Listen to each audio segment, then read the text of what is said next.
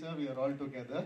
When the master is the greatest one, uh, sir, uh, we have to address you like this, uh, like master, because we love you so much. And uh, when he is there, we came out of love for him, and uh, out of love for the book Ponniyin Selvan, which has been written 70 years back, which is kept like a secret scroll.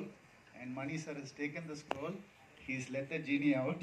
So uh, I think this is going to make wonders. It's a beautiful, beautiful film with beautiful, beautiful cast for beautiful audience. Amazing. 30th September, ladies and gentlemen, we're going to go watch this movie.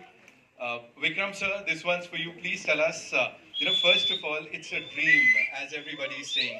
It's sir's dream, it's the entire team's dream. इन लोग का भी dream है सीटी बजाने का ताली बजाने का okay so it is somebody's dream that you're actually fulfilling on the big screen and whatever we've seen it's brilliant you know so please tell us something about that that how responsible did you feel when this thing was uh, offered to you You rightly said it. Hi, guys, first of all. it's a lot of dreams that come together.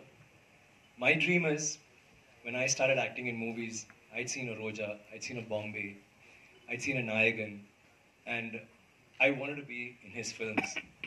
I was in college that time, and I had a classmate who was a cousin of his, and I became his friend because he's his cousin.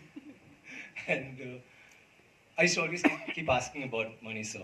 That's the impact he's had on me in the films that he's done. Mauna Ragam, there's so many movies, like frame by frame. I mean, I could just watch them over and over again. So that was a dream to work in his film. And I had thought that even Mr. Shankar, if I work in both their films, I would retire. I don't want to act after that. And I still hadn't started acting. But I've अ, वो जो containment जो मिलती है वो जो creative security मिलती है उस उसमें जो अ, एक अ, सुकून है एक हाईलाइट नहीं होगा बेसिकली इस पर हम हम we just go on and on हम बोलते जाएंगे because it it is evolution and that doesn't come to N and So, Hi. thank you. Uh, this side over here, uh, this is Mayur here from Beyond Bollywood. Uh, good evening to everybody. Uh,